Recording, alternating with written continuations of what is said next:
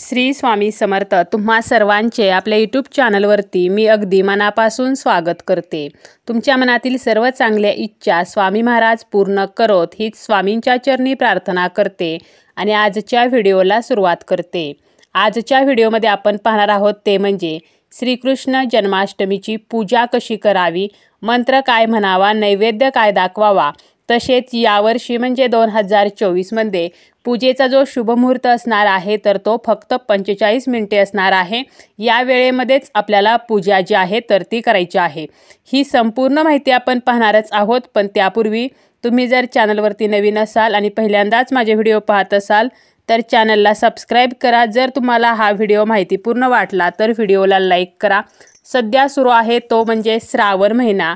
आणि श्रावण महिन्यातील प्रत्येक दिवसाला प्रत्येक तिथीला विशेष असे महत्त्व असते.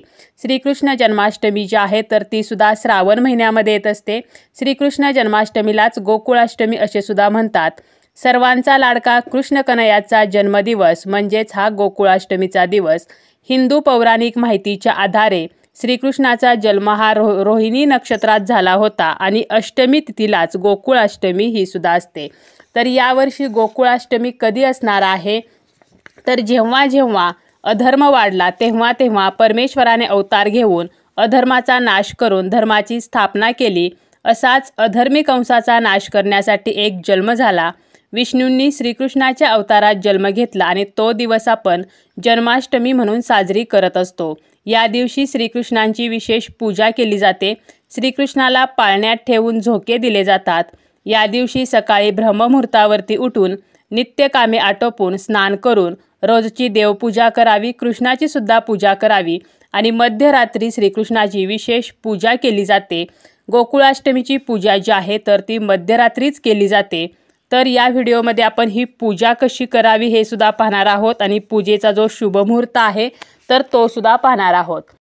वैदिक पंचांगानुसार गोकुळाष्टमी तिथी ही रविवारी पंचवीस ऑगस्ट दोन हजार चोवीसला मध्यरात्री तीन वाजून एकोणचाळीस मिनिटांनी सुरू होणार असून सव्वीस ऑगस्ट दोन हजार चोवीसला मध्यरात्री दोन वाजून एकोणीस मिनिटांनी समाप्त होणार आहे. उदयतिथीनुसार सव्वीस ऑगस्ट दोन हजार चोवीसला गोकुळाष्टमी जी आहे तर ती साजरी करण्यात येईल. तसेच सत्तावीस ऑगस्टला दहीहंडीचा उत्साह असणार आहे. कृष्ण जन्माष्टमीची जी पूजेची वेळ असणार आहे तर ती फक्त पंचेचाळीस मिनिटे असणार आहे. ही पूजेची वेळ जी आहे तर ती सव्वीस ऑगस्टला मध्यरात्री बारा वाजल्यापासून ते बारा वाजून पंचेचाळीस मिनिटांपर्यंत असणार आहे. त्यामुळे यंदा बाळगोपाळाची पूजा करण्यासाठी फक्त पंचेचाळीस मिनिटे वेळ असणार आहे. या वेळेमध्ये आपल्याला पूजा करायची आहे. तसेच यावर्षी गोकुळाष्टमीच्या दिवशी सर्वार्थ सिद्धियोगसुद्धा येत आहे. सव्वीस ऑगस्टला दुपारी तीन वाजून पंचावन्न मिनिटांपासून ते सत्तावीस ऑगस्टला पहाटे पाच वाजून सत्तावन्न मिनिटांपर्यंत सर्वार्थ सिद्धियोग असणार आहे. त्यामुळे या योगामध्ये सुद्धा आपण जर काही छोटे छोटे उपाय केले तर आपल्याला श्रीकृष्णांचे आशीर्वादसुद्धा प्राप्त होणार आहेत. श्रीकृष्ण जन्माष्टमीचा पूजाविधी काय असणार आहे? त्यासाठी कोणकोणते साहित्य लागणार आहे? तर सर्वप्रथम आपण साहित्य पाहूया आणि यानंतर पूजा कशी करावी तर हे पाहूया. साहित्य लागणार आहे एक पाट किंवा चौरंग. लाल किंवा पिवळ्या रंगाचं वस्त्र जे आपण पाटावरती टाकायचं आहे. बाळकृष्णांची मूर्ती कामधेनूची मूर्ती जर असेल तर गणपतीची मूर्ती बाळकृष्णांचे वस्त्र बाळकृष्णांचे अलंकार तसेच त्यांचा मुकुट चंदन किंवा अष्टगंध अत्तर हार फुले तसेच गणपती बाप्पांसाठी दुर्वा जास्वंदीचं फूल जर तुम्हाला मिळालं तर ते. तसेच तुळस पाणी पंचामृत एक तामन अक्षदा हळदी कुंकू तुपाचा दिवा अगरबत्ती आरतीसाठी कापूर आणि पाळणा किंवा झोका. तर हे साहित्य आपल्याला लागणार आहे. नैवेद्यामध्ये काय लागणार आहे? तर दही लोणी खडीसाखर किंवा ड्रायफ्रूट्स गोपाळकाला फळे पंचामृत गुळ खोबरे. तर या गोष्टी ज्या आहेत तर त्यापैकी तुम्ही काही गोष्टी नैवेद्यामध्ये घेऊ शकता. आता पूजाविधी काय असणार आहे? तर सर्वप्रथम आपल्याला ज्या ठिकाणी ही पूजा मांडायची आहे तर ती जागा स्वच्छ करून घ्यायची आहे.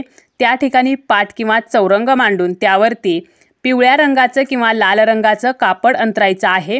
आपल्याला या पाटाभोवती किंवा चौरंगाभोवती छान अशी रांगोळी काढायची आहे फुलांनी सजवायचं आहे. आपल्या उजव्या बाजूला एका कोपऱ्यात थोडेसे तांदूळ ठेवून त्यावरती आपल्याला हळदी कुंकू व्हायचं आहे आणि त्यावरती आपल्याला तुपाचा दिवा जो आहे तर तो ठेवायचा आहे. तुपाचा दिवा प्रज्वलित करणे शक्य नसेल तर तुम्ही तेलाचा दिवासुद्धा ठेवू शकता. यानंतर दिव्याची पूजा करायची आहे.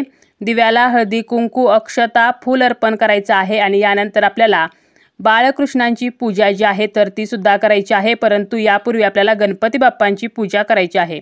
गणपतीची मूर्ती असेल तर मूर्ती किंवा फोटो असेल तर फोटोची पूजा करावी किंवा तुम्ही त्याऐवजी सुपारीसुद्धा वापरू शकता. आपल्याला गणपतीच्या मूर्तीला अभिषेक करायचा आहे. अभिषेक करताना वक्रतुंड महाकाय सर्व कार्येशू सर्वदा तर हा जो मंत्र आहे तर तो सुद्धा म्हणायचा आहे. आणि यानंतर आपल्याला विधिवत अभिषेक झाल्यानंतर ती मूर्ती स्वच्छ कपड्याने पुसून पाटावरती एका बाजूला मांडायची आहे. त्या मूर्तीला आपल्याला हळदी कुंकू लावायचं आहे. जास्वंदीचं फूल दुर्वा अर्पण करायचे आहेत आणि गुळ खोबरे जे आहे तर ते नैवेद्य म्हणून ठेवायचे आहे. यानंतर आपल्याला बाळकृष्णांची जी पूजा आहे तर ती सुद्धा करायची आहे. एका तामणामध्ये आपल्याला फुलांच्या ज्या पाकळ्या आहेत तर त्या ठेवायच्या आहेत. त्यावरती बाळकृष्णांची मूर्ती ठेवायची आहे. त्यांना प्रथम स्वच्छ पाण्याने आपल्याला स्नान घालायचं आहे आणि यानंतर पंचामृताने आपल्याला स्नान घालायचं आहे म्हणजे अभिषेक घालायचा आहे. चंदन व अत्तराने सुद्धा आपल्याला स्नान घालायचं आहे. आणि शेवटी पुन्हा एकदा स्वच्छ पाण्याने अभिषेक करून ही जी मूर्ती आहे तर ती स्वच्छ करायची आहे. स्वच्छ कोरड्या कपड्याने आपल्याला ती कोरडी करून घ्यायची आहे आणि यानंतर आपल्याला काय करायचं आहे? जर तुमच्याकडे अजून एक छोटासा पाट किंवा छोटासा चौरंग असेल तर तो सुद्धा तुम्ही त्या अगोदर मांडलेल्या पाटावरती ठेवू शकता आणि त्यावरती आपल्याला एक छान कापड ठेवायचं आहे. त्यावरती बाळकृष्णांना ठेवायचं आहे. आणि जरी तुमच्याकडे छोटासा चौरंग नसेल तरीसुद्धा त्या पाठावरती मध्यभागी थोड्याशा अक्षता ठेवून त्यावरती बाळकृष्णांची मूर्ती ठेवायची आहे. त्या मूर्तीला छान असं वस्त्र घालायचं आहे. जर पिवळ्या रंगाचे वस्त्र असेल तर ते आवरजून घाला. मुकुट घालायचा आहे अलंकार घालायचे आहेत. छान अशी बाळकृष्णांची मूर्ती सजवायची आहे. त्या मूर्तीच्या सभोवतीसुद्धा फुलांनी सजावट करायची आहे आणि तुम्ही त्या बाळकृष्णांच्या मूर्तीसमोर किंवा जवळ मोरपीस बासरी तर हे जर तुमच्याकडे असेल तर हे सुद्धा आपल्याला ठेवायचं आहे. त्याचबरोबर आपल्याला काय करायचं आहे? त्यांचा जो मुकुट आहे तर त्यामध्ये सुद्धा तुम्ही मोरपीस जे आहे तर ते खोवू शकता. यानंतर आपल्याला बाळकृष्ण जे आहेत तर त्यांना चंदन लावायचं आहे. त्याचप्रमाणे आपल्याला तुळस जी आहे तर तीसुद्धा अर्पण करायची आहे. पिवळी फुले अर्पण करायची आहेत. कामधेनूची जी मूर्ती आहे तर तीसुद्धा एका बाजूला ठेवायची आहे. एक फूल घेऊन फुलाच्या साह्याने या कामधेनूच्या मूर्तीवरती पाणी शिंपडायचं आहे. त्या मूर्तीची पूजा करायची आहे. यानंतर आपल्याला धूपदीप अगरबत्तीने ओवाळायचं आहे. नैवेद्य दाखवायचा आहे. तुमच्याकडे जर कृष्णाची सुद्धा दुसरी एखादी मोठी मूर्ती असेल तर तिची सुद्धा आपल्याला पूजा करायची आहे. यानंतर कृष्णासाठी आपल्याला पाळणा सजवायचा आहे फुलांची छान आरास करायची आहे आणि या पाळण्यामध्ये छान वस्त्र टाकून जर तुमच्याकडे छोटं आसन असेल तर तुम्ही ते आसनसुद्धा या पाळण्यामध्ये ठेवू शकता. आणि जर आसन नसेल तर फुलांच्या पाकळ्या ठेवून त्यावरती बाळकृष्णांची मूर्ती जी आहे तर ती ठेवायची आहे. पुन्हा एकदा आपल्याला बाळकृष्णांची पूजा करायची आहे कृष्णांना नैवेद्य दाखवायचा आहे. आणि यानंतर बाळकृष्णांना झोके देऊन कृष्णाचा पाळणा जो आहे तर तो म्हणायचा आहे. यानंतर कृष्णाची आरती करायची आहे आणि आरती झाल्यावर सर्वांना प्रसाद वाटायचा आहे.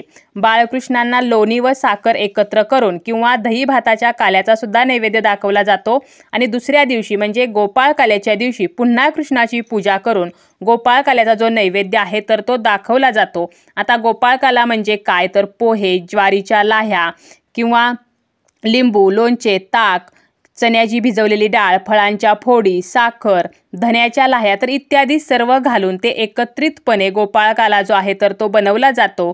यमुनेच्या तीरावरती श्रीकृष्ण व त्याचे सवंगडी गोपाळकाला बनवत व तो वाटून खात असत. आणि त्यामुळे हा सुद्धा नैवेद्य दुसऱ्या दिवशी म्हणजे गोपाळकाल्याच्या दिवशी दाखवला जातो आणि बऱ्याच भागात या दिवशी दहीहंडी जी आहे तर ती सुद्धा फोडली जाते. या दिवशी कोणत्या मंत्राचा जप करावा तर ओम नमो भगवते वासुदेवाय. किंवा ओम केशवाय नमहा किंवा ओम माधवाय नमहा तर या मंत्राचा तुम्ही जप करू शकता. या दिवशी विष्णू सहस्रनामाचे पठन करावे. तसेच पुरुष सुक्तमचे सुद्धा पठन करावे.